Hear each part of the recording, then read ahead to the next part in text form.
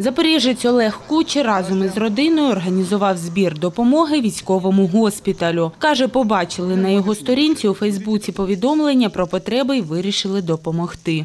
С супругой подумали, ну что мы там найдем, да, у себя одной машины отвезем, смысл. Ми з дружиною поміркували, що ми знайдемо у себе, однією машиною відвеземо. Сенс.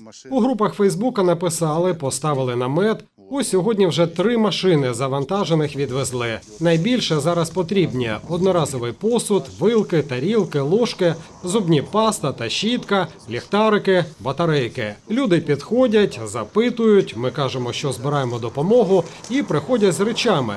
Хто що може, у кого що є.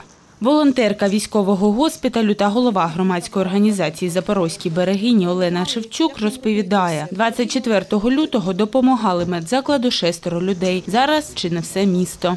До нас долучаються весь час дуже багато людей. Ми весь час пишемо, що потрібно, що потрібно привезти. Координую весь волонтерський рух, який є сьогодні біля Запорізького шпиталю. І люди вони просто неймовірні. Стільки людей об'єдналося разом, і це наша перемога сьогодні взагалі.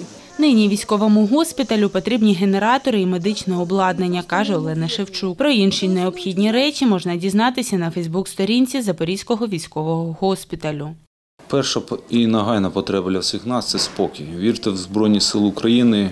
Ми воюємо, госпіталь відмобілізувався, ми готові надавати пораненим, травмованим медичну допомогу. Друге, переходьте всі на українську мову. Русня не розуміє українською, це є лакмусовим папірцем. Дуже нам допомогли клінічні лікарні міста Запоріжжя, в частності п'ята обласна університетська клініка. Фахівці приїжджають, ми оперуємо, стабілізуємо. Олена Лисенко, Андрій Варіонов. Новини на Суспільному. Запоріжжя.